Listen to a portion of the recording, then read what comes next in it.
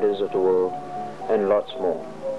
The introduction of modern technology brings into reality an insight of those wonderful places to movies at cinemas and home televisions. This movie will not bring you to any of those gigantic lands or any of those wonders of the world. Instead, it shall introduce you to a rather remote island, located somewhere not so near to the edge of the eastern part of the Indian Ocean.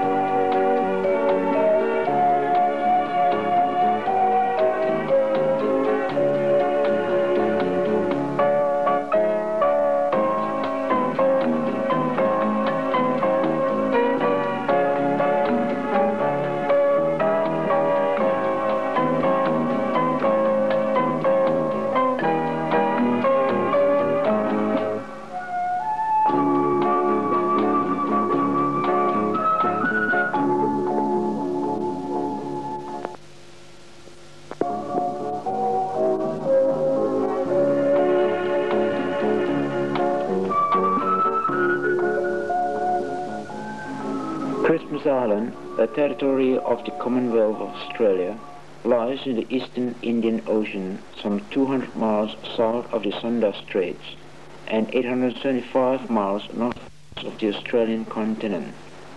It should not be confused with Christmas Island in the Pacific Ocean. This oceanic island is only 52 square miles in area. Historically, the island was sighted on Christmas Day in 1643 by the captain of a British East India Company ship.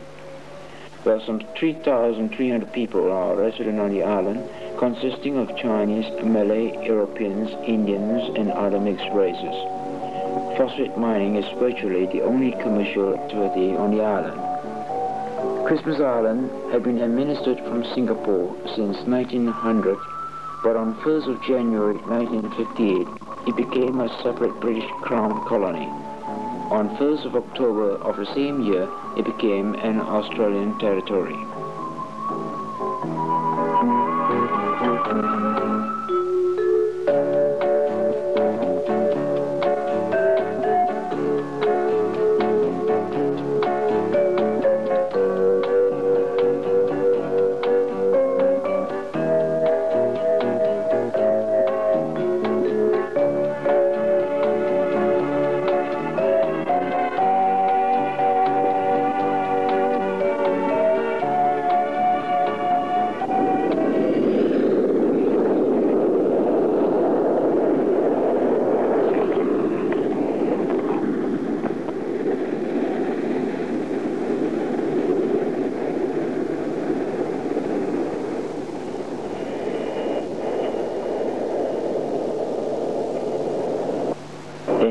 1974, an airstrip opened the way for pure jet aircraft to service the island. The Trans-Australia Airlines made its first Boeing 727 landing on the strip on 6th of June 1974. This follows by other airlines using Boeing 727 aircraft to transport passengers, mail and cargo between Australia, Cocos Island, Singapore and Malaysia.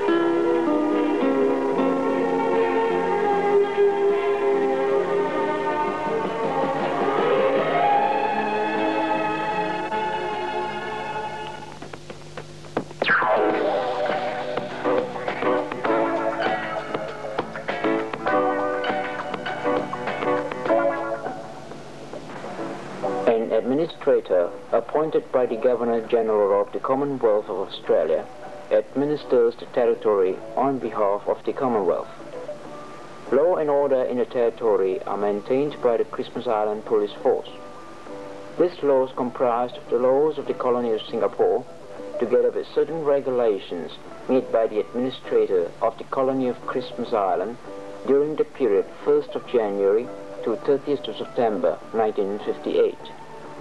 A current legislative amendment approved by the government concerns the extension to the territory of the Migration Act of 1958, which extends Australian permanent resident status to all workers and their families on Christmas Island.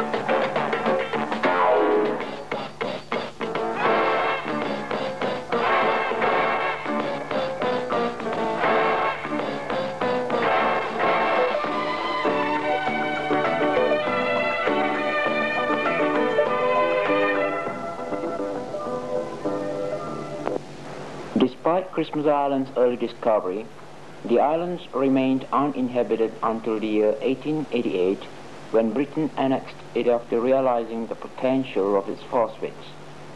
The Australian and New Zealand governments in 1948 established the Christmas Island Phosphate Commission. The commission then engaged the British Phosphate Commissioners who had been mining Nauru and Ocean Island in the Pacific Ocean as agents to conduct the operations. More of the mining operations will be shown later in this part of the film. While the island relies on overseas radio, telephone and teletype and its air and sea charter services and Radio Australia to link it with the outside world, up to date, the outside world had heard little of Christmas Island.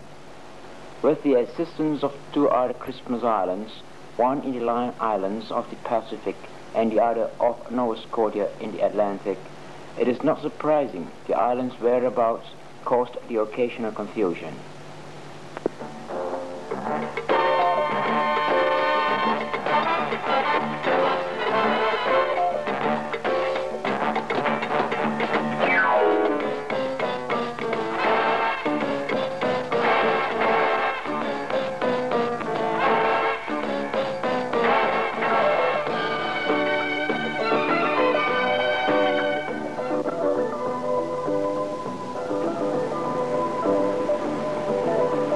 Majority of the island's phosphate employees were recruited from Singapore and Malaysia. The British Phosphate Commissioners are the major employers in the territory. The Christmas Island administration and a number of small private shops provide some further employment.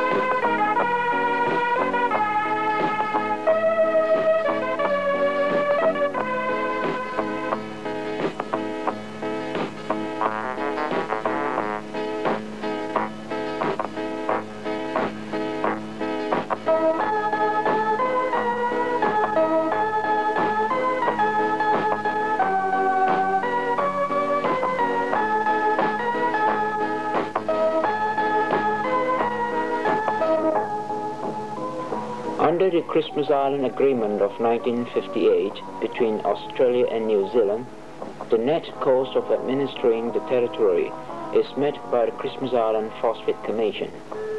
The largest retail outlet on the island is the grocery and general trade store operated by the British Phosphate Commissioners.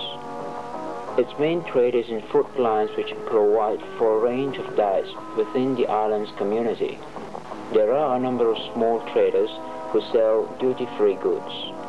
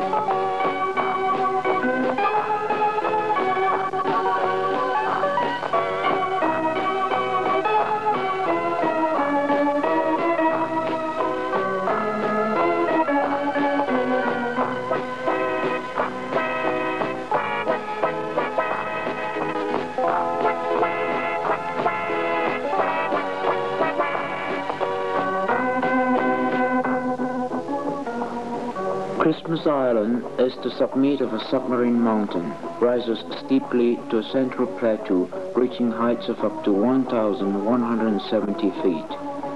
From the plateau, the land drops to the sea in a series of terraces, terminating in a sea cliff ranging in height from 10 to 150 feet, which continues around most of the island. Tall timber forest provides a pleasant screen on the drive down to the inhabited terraces in descending order. Drumsite, Punsan, Solar City, Silver City, and downwards to the commercial settlement area. There are only five major roads in the island and some minor roads in all developed areas.